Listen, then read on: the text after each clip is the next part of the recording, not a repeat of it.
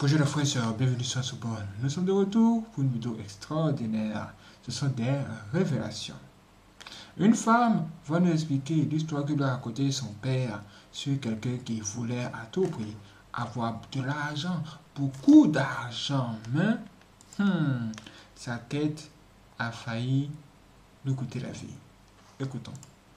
L'autre petite histoire, c'est celle que mon papa, mon feu papa me racontait. Enfin, à nous tous d'ailleurs, tous ses enfants. Euh, il est question d'argent. En fait, moi, je suis pas tout le temps d'argent parce que je crois que c'est le nerf de la guerre. Et c'est ce qui nous environne le plus souvent. Donc, c'est très important d'en parler parce que aujourd'hui, tout le monde est plus ou moins victime d'argent. Déjà, j'aimerais dire, à mon sens, l'argent est un bon serviteur et un mauvais maître. Alors là, c'est l'histoire de monsieur qui travaille dans l'Ouest quand mon père il était affecté à l'époque. Je suis camerounaise. Et il nous fait comprendre que, euh, enfin, c'était la pension publique. Je vais pas rentrer dans certains détails que j'ai pas. Donc alors, les mecs, ils étaient tous fonctionnaires, vous en doutez. Et ils ont un collègue, toujours un affecté comme eux, parce qu'ils sont pas originaires de la région, qui est tout le temps en train de s'en plaindre, de se plaindre de son manque d'argent. Il a trop de charges, il a trop de responsabilités. Quand je t'entends toucher tes écouteurs, j'espère que vous m'entendez bien. C'est bon, c'est bon. Ok. Donc, les mecs alors, ils sont déjà un peu las de ça.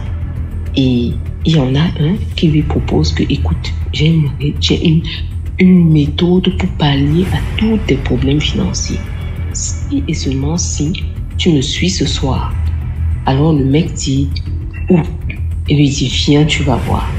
C'est comme ça qu'il se donne un rendez-vous à un point et très tard le soir, il s'y retrouve, disons sur le temps peut-être des 22 heures. Je sais pas trop pour l'histoire parce que mon père, il la racontait comme ça. Et alors, son ami lui dit, tu marches seulement derrière moi, tu poses pas de questions et on va jusqu'au bout.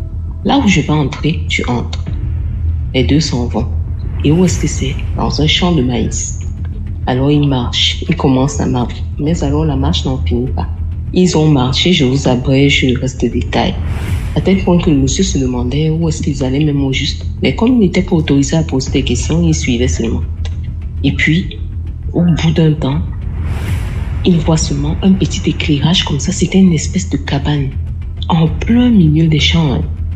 Et puis, son ami qui était devant lui pousse la porte. Et alors, il s'en dégage une grande lumière. Et il se rend compte que ce que lui, il avait vu comme une cabane, mais peut-être c'était de ses deux yeux qu'il voyait ça, parce que c'était un couloir interminable. Et dans ce couloir, il y avait de la lumière et il y avait des personnes assises devant des sacs d'argent. Et chacune des personnes comptait seulement l'argent. Il comptait, il comptait. C'était des sacs. C'était des sacs et des sacs et des sacs. Donc, vous voyez le genre de métier où on n'en finit pas. On est tellement occupé que c'est à peine si on trouve le moyen de lever la tête pour guetter le nouvel arrivant. Le mec, quand il a vu ça, mais croyez-moi, d'après les dits de mon père, il a un dessin d'étalage dans la forêt. Lui-même, il n'a pas compris à quel moment il a dépassé Usain Bolt s'il fallait évaluer son record, mais il a couru, il pendait les, les, les têtes de maïs, mais alors il ne sentait même plus la douleur. Il n'a même pas pu expliquer sa vitesse. Toujours est-il que il s'est retrouvé tout simple, simplement à un carrefour, là où il y avait quelques bars comme ça, et il chantait là. Et il s'est rendu compte que, vraiment, excusez-moi pour le vocabulaire, hein, mais je sors de très loin. Tellement loin que je peux même pas raconter comment je me retrouve là où je me retrouve. Et à ce moment, il n'osait même pas regarder derrière lui. hein. À ça, les dits de mon père, vous savez, j'étais pas là à cette époque. Mais la façon dont, dès le lendemain, il évitait même le bonjour de son collègue, ce n'était pas descriptible. Franchement. Déjà que le collègue même est arrivé le lendemain, il ne lui a même plus jamais parlé. Et c'est comme ça que les deux ont travaillé jusqu'à ce qu'on a affecté l'autre, il ne sait plus où. Mais la seule leçon que le monsieur là a pu leur donner quand il a pu parler de son expérience, c'était vraiment arrêtez de vous plaindre des problèmes d'argent. Donc, depuis ce jour, lorsqu'un collègue disait, comment je sais pas comment je vais faire, ne serait-ce même que pour inscrire mon enfant, gens encore la dette à l'école, je disais que pardon, ne vous plaignez pas des problèmes d'argent. Utilisez l'argent que vous avez là dans vos salaires, c'est amplement suffisant. Voilà.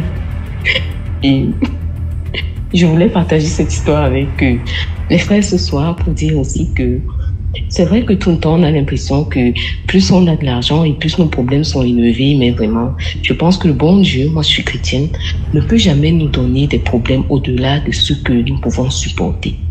Donc du coup, il faut savoir se contenter de ce qu'on a, parce que dans la vie, contentement passe richesse.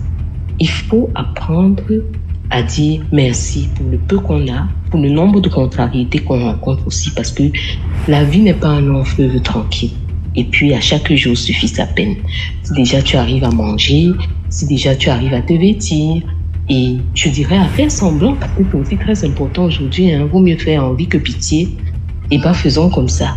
Parce que parfois, à trop vouloir, là, on peut se retrouver à un niveau où peut-être tout le monde n'aura pas la course dans les pieds que celui-là. Voilà. Non. Merci beaucoup pour ton histoire. Hey, si vous avez entendu ça, c'est extraordinaire. Dites-moi ce que vous en pensez. Si c'est écoute encore un autre témoignage. Merci aussi. Toujours. La vie n'est même pas un fleuve. C'est un route accidenté avec de trous. Petite histoire personnelle que je voulais vous raconter.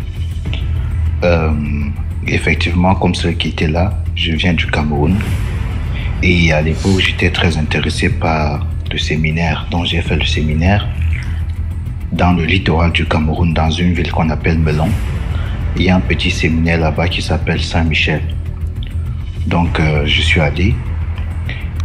Et dans cette petite ville, il y avait beaucoup d'histoires qui parlaient des choses occultes, dont de la sorcellerie. Il y avait d'ailleurs un petit cours d'eau où on nous racontait parfois les disparitions des enfants qui partaient nager là-bas. Pour la petite histoire, euh, un de mes amis, après qu'on avait fui l'école, on était allé nager était allé et quelques temps plus tard, il a commencé à sortir de l'eau, rentrer dans l'eau, sortir de l'eau mécaniquement. Il ne parlait pas avec nous. Nous, on criait, on s'amusait, mais ce n'était pas le cas pour lui. Donc, il est ressorti peu de temps plus tard, il s'est assis à côté il a pris une boule de coquille, d'où nous ne savons l'origine, et il s'est mis à manger, comme machinalement. Donc, euh, quelques temps plus tard, sa famille nous a fait savoir que la nuit tombée, il a disparu. On l'a plus revu. Donc, c'est l'histoire du cours d'eau. Mais moi, ce qui me concerne, c'est qu'il y avait une maison qui était une maison hantée. Donc, nous, le soir, on est parti, on a ton. À l'époque, on était très occupés à chercher les jeunes filles. Et voilà, on est arrivé chez une fille, son père était censé avoir voyagé. Et nous a retrouvés dans la maison et nous, on a sauté par la fenêtre. Donc, on a fui. Et c'était le seul espace que nous ayons à l'époque pour nous cacher. Donc on est allé se cacher à l'intérieur de la maison. Et je dois dire que je suis sorti de cette maison avec des séquelles. Parce que là, depuis cette soirée, parfois je me couchais chez moi et je me voyais moi-même couché dans mon propre lit. J'ai commencé à raconter l'histoire à mes amis qui ont pris peur. Et j'ai en parlé à ma famille qui, voilà, on m'a pris pour un fou, pour quelqu'un qui, on m'a dit c'était des rêves que je faisais, que je ne faisais pas la différence entre mes rêves et, euh, et ce que je vivais, dont je mélangeais les réalités. Jusqu'à un soir où j'avais à l'époque, les téléphones portables venaient de sortir, j'avais un téléphone qui avait la radio, donc j'écoutais la radio dans mon téléphone. Alors la nuit, le, la radio ne fonctionnait plus, ça avait un grisaillement, vous savez, quand vous voulez passer entre une chaîne et une autre, mais que vous ne trouvez pas la bonne station, vous ne captez pas la bonne station, il y a parfois un petit son qui grisaille là. Donc j'ai entendu ce son et automatiquement je me suis retourné pour essayer de d'arrêter le téléphone. Mais en plein dans le sommeil, je tapotais euh, parce que j'avais une petite table de chevet. Euh, au Cameroun, on appelle ça le rotin, le bois de rotin. Donc c'est une petite table faite en rotin là. J'ai essayé de tapoter ça pour trouver mon téléphone et arrêter la musique. Euh, le bruit bizarre. Sauf que là, j'ai eu l'impression de toucher quelqu'un. J'ai senti c'était la chair. Et automatiquement, j'ai sursauté. Euh, je n'avais plus sommeil. Je voulais voir ce qui s'est passé parce que j'étais convaincu d'être seul. Et quand j'ai levé la tête, j'ai vu quelqu'un de blanc vêtu assis à côté sur la radio euh, où il y avait mon téléphone. Donc, totalement paniqué, j'ai sursauté et j'ai appelé euh, à l'aide. Sauf que il n'y avait plus rien. Donc, euh, c'est parti. Ça fait, des, ça fait longtemps que j'ai plus eu ça. Mais c'est une expérience que je sais, que j'ai vécue. Je sais que j'ai vu, je sais ce que j'ai touché, je sais ce que j'ai ressenti. Mais même si expliquer ça aux gens, c'est parfois compliqué, c'est parfois bizarre, mais c'est voilà, c'est ce que je voulais échanger avec vous ce soir. Merci beaucoup. Ouais, oui, on va? Dire ça.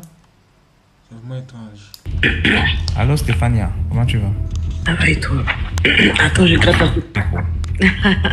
non, mais au moins qu'on puisse m'entendre.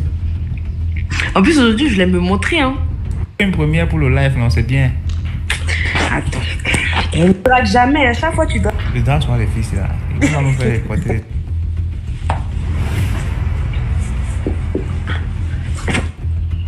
On va clôturer avec l'homme de l'homme.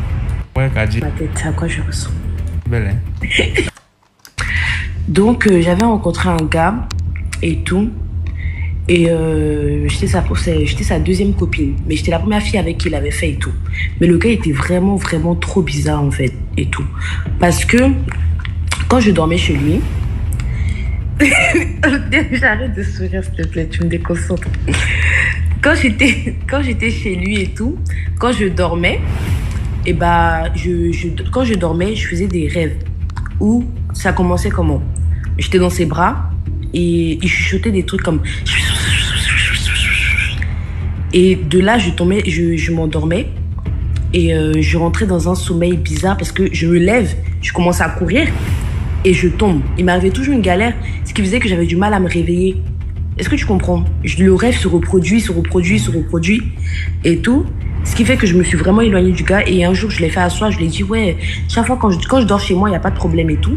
Mais quand je dors chez toi, je fais des rêves bizarres et tu marmonnes des choses que je ne comprends pas. J'ai l'impression que tu es dans une secte, c'est trop bizarre en fait. Et moi, j'ai trop peur de ça. Donc, euh, et c'était tout le temps. Chaque fois que je dormais chez lui, c'était la même chose. C'était toujours la même chose. Avant de dormir, il faisait des et euh, je reprenais le rêve où euh, je dormais à côté de lui, je me lève, je commence à courir, courir, et je tombe. Il y a toujours une galère qui m'arrive, et je retourne encore dans la même scène en fait, dans le même scénario qui continue, qui continue, qui continue. Donc j'ai eu tellement peur que je me suis séparée de la personne.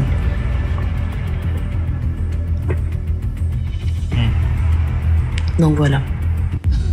C'était vraiment mystique parce que quand je dors chez moi, il n'y a pas ça. Il n'y a pas de rêve bizarre ou quoi que ce soit. Mais une fois que je dors chez lui, il se passe, ce- il se passe ce scénario-là. Donc c'était bizarre. Ok, l'autre histoire alors. L'autre je sais que je raconte mal. hein. Et l'autre histoire, en fait, je t'avais expliqué comme quoi j'avais rencontré un homme et tout. Il avait envoyé son petit pour venir me parler. On avait échangé les numéros de téléphone. Et euh, lui, il habitait pas en France. Il était au pays. Il habitait en Côte d'Ivoire. Donc il devait partir. On a échangé les numéros. Et euh, il est parti. On a continué la conversation. Il est revenu. Quand il est revenu, quand il est revenu, en fait, quand il était au pays déjà, il me, il me demandait tout le temps de lui envoyer des photos. Ouais, envoie-moi tes photos, ma chérie, nanana et tout. Moi, je trouvais ça bizarre. Il y a ma photo de profil. Donc, si tu veux montrer à une- personne une photo, bah, tu montres ta photo de profil. T'as pas besoin forcément de montrer une photo que moi, je t'ai envoyée. Et de là, en fait, c'est vraiment, c'est des, ça stresse, c'est stressant de raconter comme ça. Est-ce que je peux enlever la vidéo? Vas-y, vas-y. c'est trop stressant. Donc, quand il est revenu. Oh putain, j'ai pas réussi à enlever. Enregistré. Ouais, je disais, quand il est revenu, quand il est revenu du pays, il m'avait envoyé plein de cadeaux et tout, des bijoux, des bracelets, des colliers. Et il y avait un collier qu'il avait mis à côté. Le collier qu'il avait mis à côté, le collier avait une odeur bizarre. Et il se trouve que moi, j'étais allée le chercher à l'aéroport et on était partis ensemble à son hôtel. Il s'est douché et tout. Et quand il est rentré dans la douche, il y avait une odeur bizarre, une odeur vraiment horrible, dégueulasse, qui était sortie de la salle de bain quand il a fini de se doucher. Après, lui, il a dormi et tout. On s'est, euh, il m'a remis les cadeaux. Et moi, je suis rentrée chez moi. Quand je suis rentrée, non, avant de rentrer, mais il, a- il insistait pour que je porte le bracelet. Il y avait un bracelet de Cori, des Cori noirs. Il insistait dessus pour que je le porte. J'ai dit non, t'inquiète, je vais le porter quand je vais rentrer et tout. Et quand je suis rentrée, il, m'a demandé, il m'a dit oui, est-ce que tu as porté le bracelet? J'ai dit non, j'ai pas encore porté le bracelet. Donc j'ai trouvé ça bizarre qu'il insiste pour, pour, euh, pour, pour ce fameux bracelet-là, alors que les autres, il n'avait pas insisté. Et tout, même les tenues qu'il m'avait envoyées, il m'a même pas demandé si c'était ici les tenues. Il me dit oui, est-ce que tu as porté le bracelet? J'ai dit, bah oui, oui, je l'ai porté. Il me dit, non, tu l'as pas porté. J'ai dit, comment toi tu sais que moi je n'ai pas porté le bracelet? J'ai dit, j'ai porté le bracelet. Il me dit, non, t'as pas porté le bracelet. Et tout. Donc moi je suis allée expliquer à ma mère. Ma mère, elle a dit, c'est grave bizarre, en sachant que le monsieur, il travaillait dans le gouvernement en fait. Il était euh, vigile de, du premier ministre de la Côte d'Ivoire et tout. Donc c'était trop bizarre. Comment lui, il a su comment je porté le bracelet? Donc de là, moi, je me suis un peu éloignée de lui. J'ai expliqué à ma copine.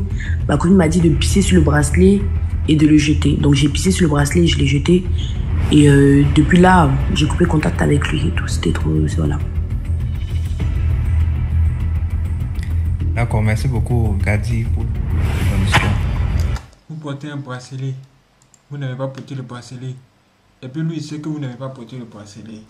Comment sait-il que vous n'avez pas porté le bracelet? Vous-même, même si vous êtes même, même, même, si on dit, ah, c'est parce que c'est un sorcier, c'est un mystique, c'est votre ennemi même qui est là. Faites très attention. Vous voyez le bracelet de la fille qui est là C'est extraordinaire. Mais ne prenez pas n'importe quel bracelet n'importe où. Sinon, vous allez vous faire contrôler par des mystiques, par des gens mauvais, par des sorciers. Partout où vous serez, ils sauront où vous êtes. Ça sera comme une puce GPS, ça vous localise partout, on sait où vous êtes. Ha, faites attention même aux cadeaux qu'on vous donne, les cadeaux des gens. Une personne qui t'aime pas, qui t'offre un cadeau, c'est un piège. Écoute encore le témoignage. DMG, c'est vraiment stressant de moi. de rester... Ah, Avant de commencer ce soir-là, je vais dire, il y a certaines personnes qui me contactent ici pour des rituels d'argent. Je, je veux dire publiquement que je ne fais pas de l'argent à quelqu'un. Je ne fais pas de rituels d'argent à quelqu'un. On travaille pour avoir l'argent. Moi, je ne fabrique pas l'argent. Donc ceux qui viennent pour les rituels d'argent chez moi, là, je ne fais pas ça. Je dis ça en public. Si quelqu'un a encore l'intention de me contacter pour des rituels d'argent, là, c'est pas la peine qu'il vienne. Ça, je voulais notifier ça en même temps. Bon, ce soir, je vais te raconter l'histoire du, du père qui a construit sa tombe dans la maison avec un cercueil et il profitait pour arracher les âmes des enfants pour pouvoir, pour pouvoir vivre longtemps. Oui. C'est un vieux, euh, il a vécu. En fait, la, nature lui a fait grâce. Donc, il avait un peu les moyens. Tu vois un peu, non, il avait un peu les moyens. C'est pas l'argent qui lui manque et tout. Il vivait bien. Et puis, il a commencé par vieillir. Mais il voulait pas mourir, en fait. Parce que il était tellement pingre qu'il n'a pas voulu prendre soin de ses enfants. Il a envoyé tous les enfants à l'école, mais il n'a pas voulu aider les enfants à réaliser leurs rêves. Et même leur trouver du boulot, il voulait pas. Donc, euh, il est allé voir un monsieur pour lui dire que c'est comme s'il tombait malade, donc il sent qu'il ne va, plus- va plus vivre longtemps. Donc, on lui avait proposé, qu'on va- on a- on il allait creuser, sa propre tombe avec un cercueil. Et s'il fait le rituel, à chaque fois qu'il tombe malade, quelqu'un va mourir. Et si la personne meurt, c'est lui qui va, va guérir, quoi. Tu comprends un peu? Oui, oui. Voilà. Donc effectivement, il a fait le rituel, mais personne n'avait pas compris parce que quand il était, il était venu, puis il a fait le, il a créé sa propre tombe avec le cercueil. On lui a demandé, il avait dit que non, c'était pour préparer sa mort au cas où il meurt, que les enfants n'auront plus de, courses à faire, des dépenses inutiles à faire et tout. Donc les gens, tout le monde avait cru sur parole. Donc, au fil du temps, on a remarqué que à chaque fois quand le vieux, le vieux, le vieux tombe malade, quand quelqu'un même de la famille essaye de dire je vais lui rendre visite, la personne part quelques jours après, la personne décède. Et quand la personne décède, lui se lève. Donc il profitait comme ça pour prendre, pour prendre les, les âmes des, des enfants de, de la famille pour, pour, se, pour, se, pour se maintenir debout. Tu sais que quand tu es riche dans une famille, dès qu'on dit quelque chose t'arrive, là tout le monde court sur toi. Donc c'est les jeunes, les âmes, les, les- les- les personnes qui avaient de l'avenir devant, c'est ces âmes-là ils prenaient pour faire euh, sa bêtise avec eux. Donc jusqu'à là, personne n'avait pas n'avait compris encore que c'était ça qui était le problème. Donc une fois, il, est, il a eu son, son enfant, on va dire son Benjamin, et qui a, qui a fait son, son aîné, son premier enfant. Et quand l'enfant, le jour même qu'on a accouché l'enfant, il est tombé, il est tombé dans, dans l'escalier, je ne sais pas où il est tombé. Et ça, il a fait une crise. On l'a envoyé à l'hôpital et tout. Et on l'a envoyé dans le même hôpital où l'enfant était né. Ils étaient là-bas comme ça. Quand il est resté un peu dans la réanimation, dans l'urgence et tout, il s'est retrouvé. Il a demandé que on apporte l'enfant, son petit-fils. Lui veut voir son petit-fils. Donc le père a pris l'enfant, il lui a apporté. Quand l'enfant a quitté là-bas, le lendemain même, l'enfant a commencé par avoir une, insuffisance, comment vous appelez ça, un problème de, respiration. Donc ça, l'enfant n'arrivait plus à respirer. Ils ont fait les, ils ont fait les analyses, ils ont fait, ils ont fait les injections, rien, rien, l'enfant est décédé.